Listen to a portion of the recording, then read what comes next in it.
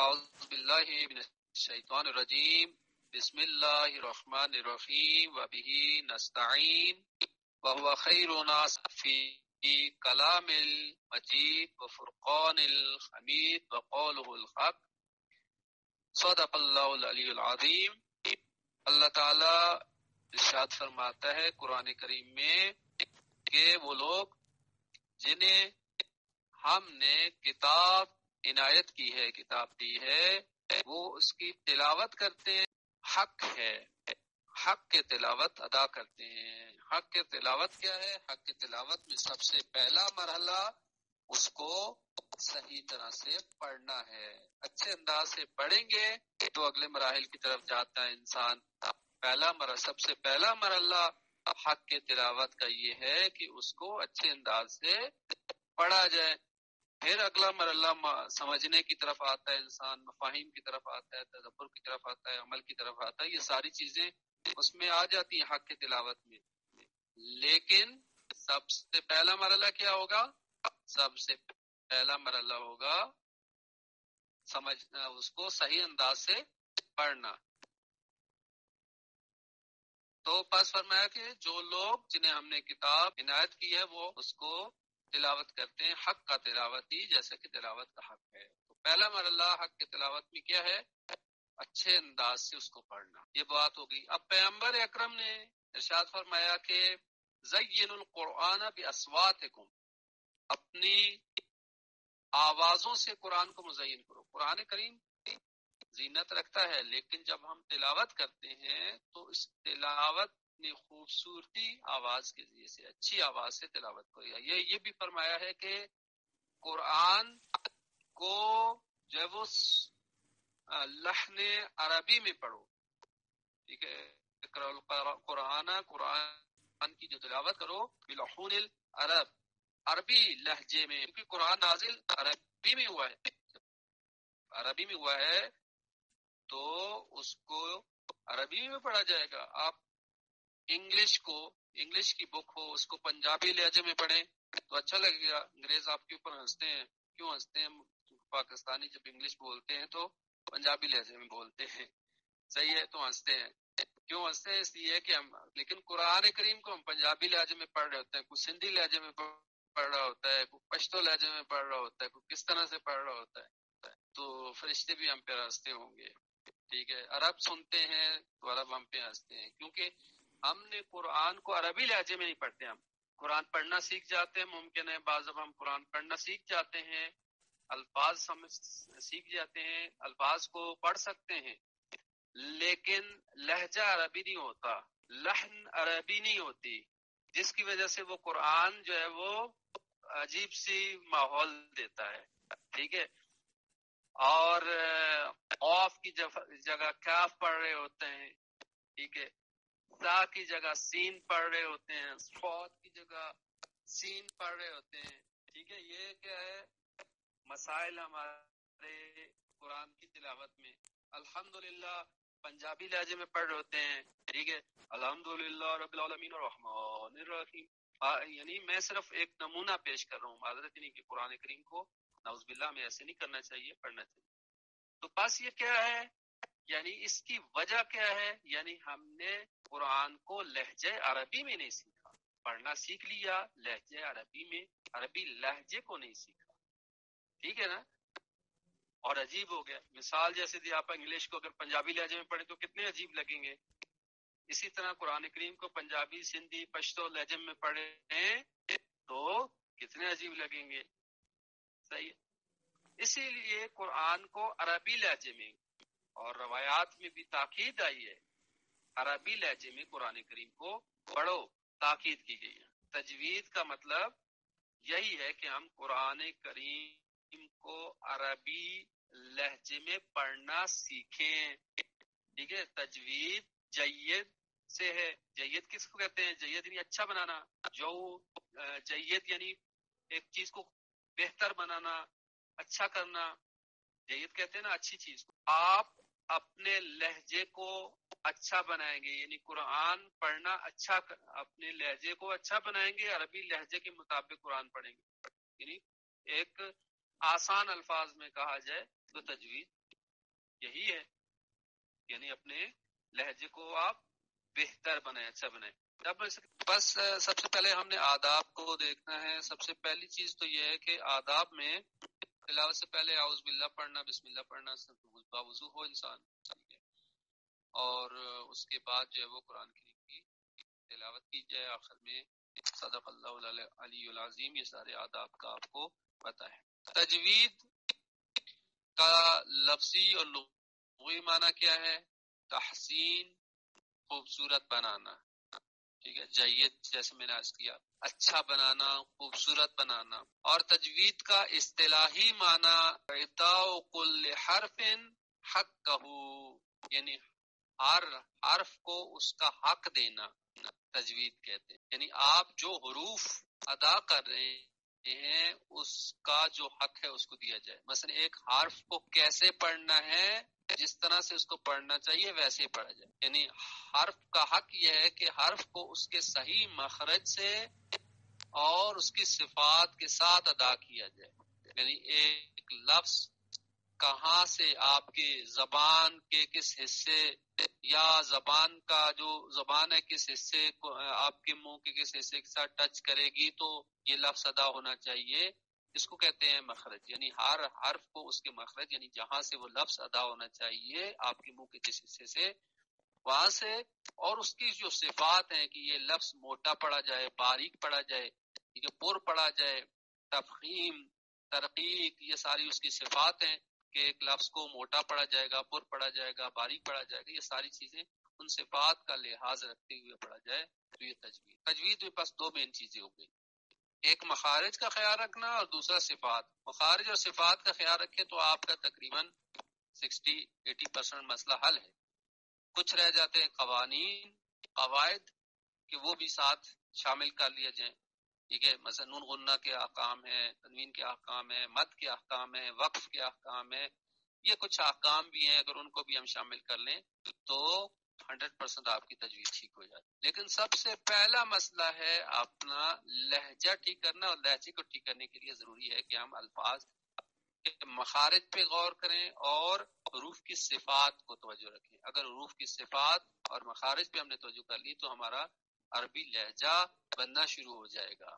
یہ کہ کہاں باریک پڑھنا ہے، کہاں موٹا پڑھنا ہے، صحیح ہے؟ یہ چیزیں آپ کے عربی لہجے کو کہاں کھینچنا ہے اور کہاں نہیں کھینچنا۔ ٹھیک ہے؟ کہاں پہ جو ہے وہ کوتا، حرکت کوتا ہے یعنی مختصر ہے، اور کہاں پہ حرکت جو ہے وہ طولانی ہے، لمبی ہے۔ اس چیز کو مدد رکھنا ہے۔ تو پھر ہمارا عربی لہجہ بننا شروع ہو جائے۔ اچھا اب تجوید کی اہمیت بھی واضح ہے، اس کو اس کو نہ سیکھیں گے تو الفاظ کیا ہو جائیں گے؟ روف کی غلط ادائیگی ہوگی، جس کی وجہ سے معنی تبدیل ہو جاتا ہے۔ حتیٰ بعض دفعہ معنی اتنا الٹ ہو جاتا ہے کہ بالکل معنی برعکس ہو جاتا ہے اور کفر کی حد تک ہے کہ آپ قل هو اللہ احد جس کا معنی ہے قل۔ هو اللہ احد کیا کہو اللہ ایک ہے۔ اگر آپ اس کو قل، قاف کی جگہ پہ اس کو صحیح مخرج سے پر کر کے ادا نہیں کرتے۔ اور یہ کہیں قل، ٹھیک ہے؟ قل هو اللہ، قل قل قل، ٹھیک ہے؟ دونوں میں فرق ہے۔ قل کا مطلب کیا ہوتا ہے؟ کھاؤ۔ قل قل هو یعنی کھاؤ۔ اور قل یعنی کہو۔ کتنا فرق ہو۔ نوز باللہ او اللہ۔ اسی طرح بہت سارے یعنی الفاظ بالکل معنی چینج ہو جاتا ہے۔ اس لیے تجوید کا سیکھنا ضروری ہے، خصوصاً نماز کے لیے، جو نماز میں یہاں پہ اذکار ہیں اور نماز کی جو صورتیں ہیں، کم از کم اس حد تک تو واجب ہے۔ باقی اگر فرض کیا قرآن کے حوالے سے ہم مستحب بھی کہیں تو لیکن نماز کی حد تک تو تجویز جو ہے وہ جہاں ضروری ہو جاتی ہے، واجب ہو جاتی ہے۔ بس تجوید میں دو اہم چیزیں ہم نے کہا کہ جن کو سیکھیں گے اور پھر اس کے بعد اس کے فرج ہے اور دوسرا صفات عروف اور تیسرا مسئلہ قواعد کا ہے کہ ان کو بھی اہم ہے، انشاءاللہ ان کو بعد میں بیان کیا جائے گا۔ اگلے مراحل میں۔ تو ہم جو یہ مرحلہ اول آسان تجوید ہے، اس میں ہم مخارج کو اگر ہم طرح سے سیکھ لیں اور اس کی صفات کو، تو ہمارا جو ہے وہ تجوید کا پہلا مرحلہ حل ہو جائے گا۔ تو پہلا مسئلہ مخارج کے حوالے سے مخارج کسے کہتے ہیں؟ مخارج، مخرج مخرج۔ ٹھیک ہے؟ مخرج کی جمع، مخارج جمع ہے مخرج کی۔ مخرج یعنی محل خروج یعنی کیا عرف کے نکلنے کی جگہ، اس کو کہتے ہیں مخرج.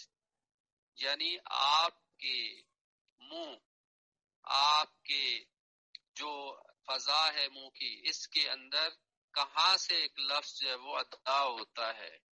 اس کو کہا جاتا ہے یہ اس لفظ کا مخرج ہے۔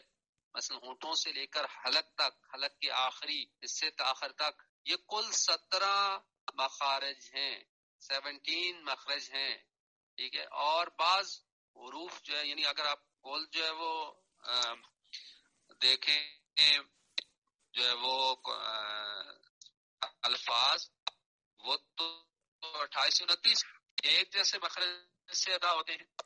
صحیح ہے؟ تو اس وجہ سے ٹوٹل ہم نے سترہ مخارج کو دیکھنا ہے، ٹھیک ہے؟ اگر عروف تاجی کو دیکھا جائے قرآن تو انتیس ٹوٹل جو ہے عروف تحجی ہیں۔ کون کون سے ہیں؟ الف، با، تا تا، جیم ہا اچھا اب ہم بے پڑھتے ہیں، لیکن جو ہے وہ عربی میں با پڑھا جاتا ہے۔ با، تا تا، جیم ہا خا عین۔ غین فا قاف کاف لام میم نون، واو ہا حمزہ اور یا۔ یہ انتیس خرج نمبر ایک ہم اس پہ آتے ہیں۔ کہ منہ کا جو اندر والا حصہ ہے نا امٹی اسپیس ان دا ماؤتھ یہ منہ کا اندر کا خلا، یہ خالی جو اس کو اسپیس ہے، یہاں سے تین حروف ادا ہوتے ہیں۔ ایک ہے الف، ایک ہے واؤ اور ایک ہے یا۔ البتہ بعض کے مت کا مطلب کیا ہے؟ مطلب کا مطلب یہ ہے کہ الف ساکن سے پہلے زیر ہو اور جو ہے وہ واؤ ساکن سے پہلے پیش، یا ساکن سے پہلے زیر ہو۔ تو یہ جو ہے وہ حروف مدہ کہلاتے ہیں۔ حروف مدہ میں یہ ہوتا ہے کہ آپ عام روٹین میں مثلا ایک طرح کھینچتے ہیں ایک زبر کو یا الف کے آ، تو جہاں پہ جو مد ہوتا ہے تو اس کو دو برابر کھینچیں گے۔ آ، جیسے با، بو، بی، یہ حروف مدہ یعنی الف، ساکن اور اس سے پہلے زبر ہے۔ واؤ ساکن اور اس سے پہلے پیش۔ یا ساکن اس سے پہلے زیر تو ان کو روف مدہ کہا جاتا ہے۔ اور روف مدی میں روف مدہ میں دو برابر حرف جاتے تو اس کو اگر صرف زبر زیر اور پیش ہو تو فقط اس کو آپ ایک حرکت دیں گے۔ ٹھیک ہے، فقط آپ نہیں کریں گے۔ مثلا، الحمد الحمد نہیں پڑھیں گے۔ الحمد للہ رب ایسے نہیں پڑھیں گے۔ الحمد للہ رب العالمین۔ ہر ہر حرف کو جب زبر زیر پیش ہو تو ایک ہی حرکت دیتے ہیں یہ حروف کیا ہے یعنی حرکات اس کو کہتے ہیں بغیر مد کے۔ جو حروف مدی جو ہے اس کو دو برابر حرکت دے دیں گے۔ ٹھیک ہے؟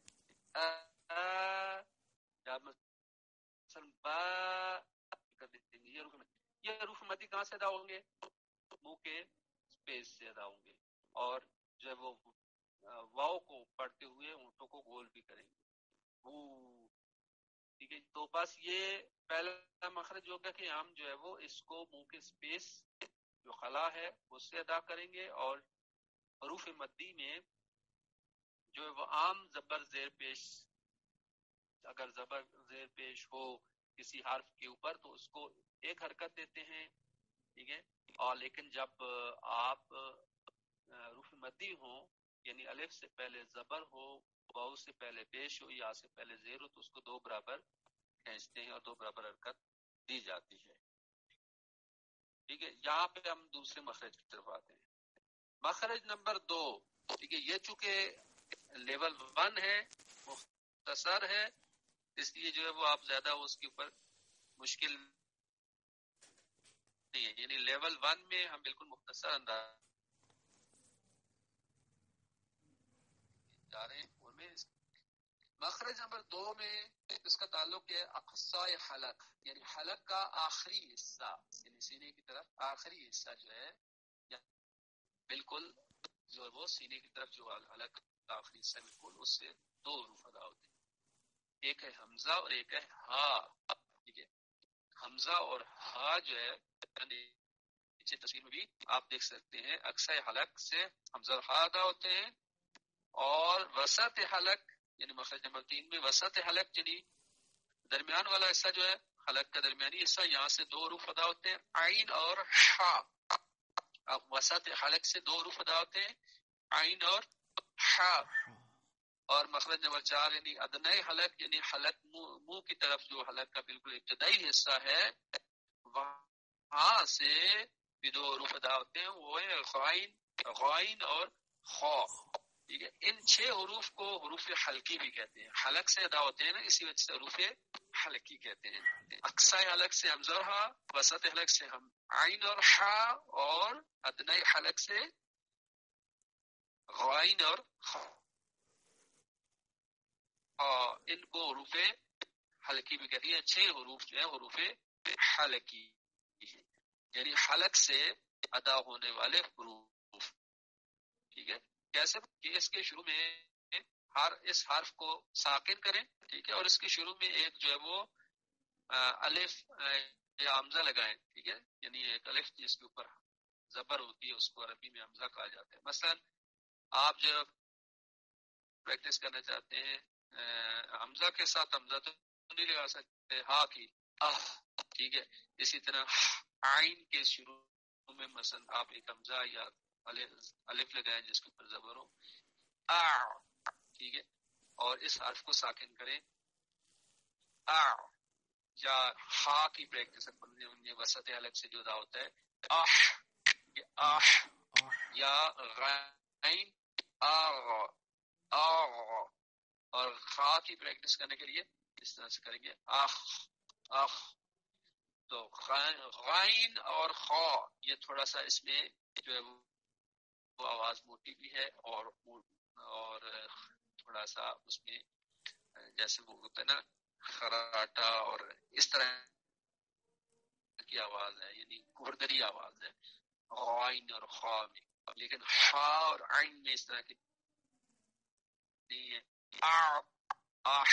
ٹھیک ہے۔ اور ہا جو ہے بالکل جیسے ہوا آپ سینے کے باہر نکالتے آہ، ٹھیک ہے۔ حمزہ میں بھی اسی طرح سے۔ تو ان کی پریکٹس آپ نے کرنی۔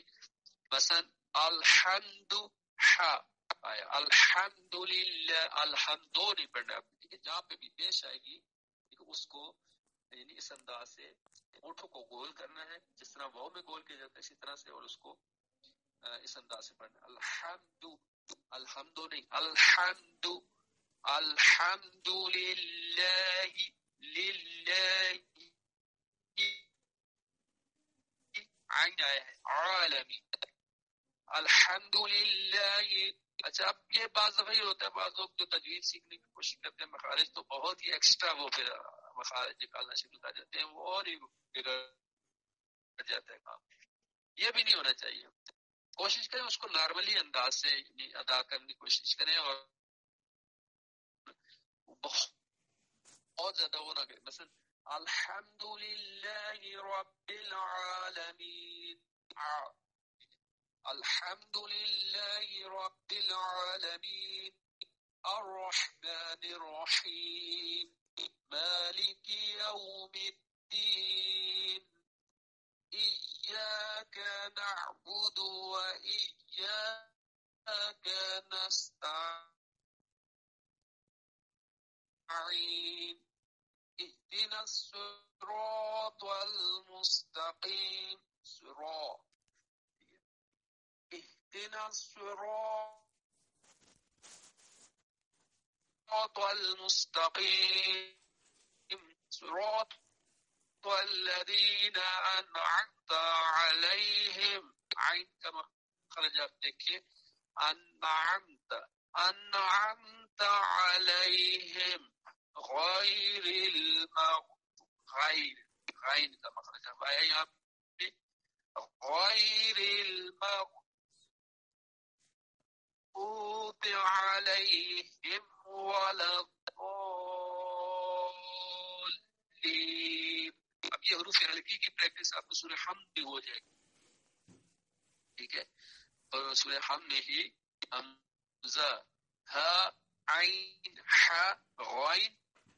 غائن خواب یہ حروف حلقی ہے اور ان کی اچھا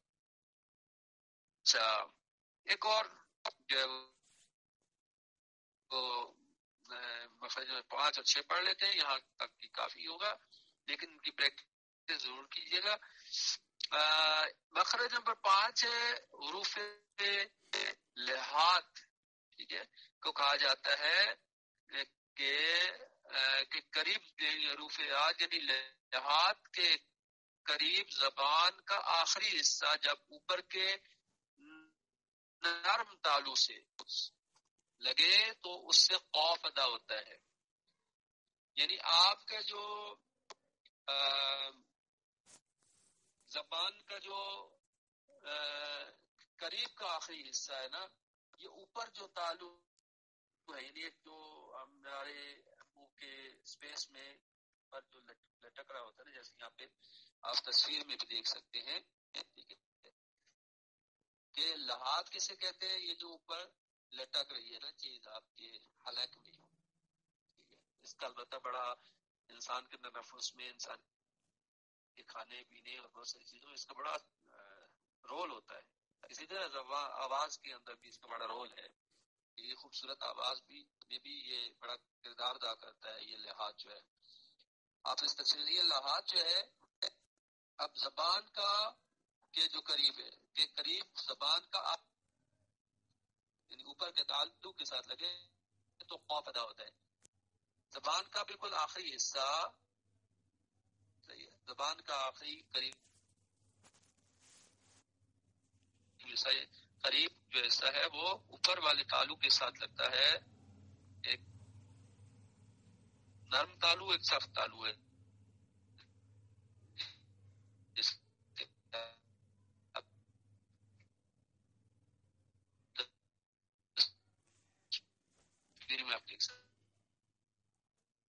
جان آپ کی آواز رک رہی ہے بیچ میں۔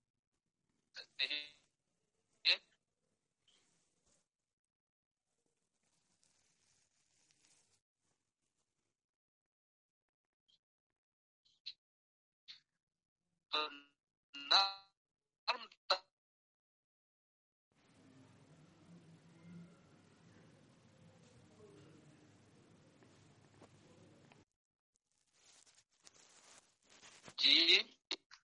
اچھا آواز کٹ رہی ہے؟ جی اب آواز آ رہی ہے۔ بس ہم تقریباً ہمارا ٹائم ہونے والا ہے آج لیکچر تھا۔ یہاں پہ ہم یہ ختم کریں گے اس کو آخری سے ختم کر کے آواز کی پرابلم پر مسائل ہیں، تو اللہ تعالیٰ بہتر کرے۔ اور انہیں جو ہے وہ یہ اگر زوم کے مسئلہ حل نہ ہوئے تو گوگل میں دیکھ لیتے ہیں کیا اس کے مسائل۔ لوگوں نے کہا گوگل میٹ زیادہ بہتر رہتا ہے، اس میں سلو نیٹ کے ساتھ بھی چل جاتا ہے۔ اس کے لیے تھوڑا فاسٹ نیٹ چاہیے ہوتا ہے زوم کے لیے۔ اس کو بھی دیکھیں گے بہرحال ہم کلاس جاری رکھیں گے جیسے بھی ہو تو مخرج نا، کاف کے مخرج پہ۔ تو کاف کا ہم نے کہا کہ کاف کا مخرج جو ہے وہ موٹا قوف جو ہے وہ پور پڑا جاتا ہے، موٹا پڑا جاتا ہے، اس کے لفظ کیا جاتا ہے، لیکن کیف جو ہے وہ نرم اور جو ہے وہ ملائم انداز سے پڑا جاتا ہے۔ اور تھوڑا سا جو ہے وہ آف کی مخرج سے ہٹ کر منہ کی طرف جو ہے وہ ادا کیا جاتا ہے کیف نرم انداز سے۔ کہ جیسے ایاک ہے، نعبد و ایاک ہے او نہیں کریں گے، ایاک ہے۔ تو یہ جو ہے وہ کیا آپ کا مخرج ہے؟ بس ہم نے آج جو ہے وہ ایک تو حروف مدی کے والے سے پڑھا کہ منہ کی فضا کے اندر سے یہ حروف جو ہے وہ خالی سپیس سے ادا ہوتے ہیں اور ان کو ہم نے ڈبل حرکت دینی ہوتی ہے، عام حروف سے زبر زیر پیش کی نسبت ان کو دو برابر پڑھا جاتا ہے۔ پھر ہم نے حروف حلقی حلقی، حل ہا سے یعنی حلق سے ادا ہونے والے حروف اقسا وسط اور ادن حلق سے ادا ہونے والے حروف، اور اسی طرح سے حروف لحاظ جو ہے وہ قوف اور کیا ان کے بارے میں پڑھا۔ ان کی آپ پریکٹس کریں گے۔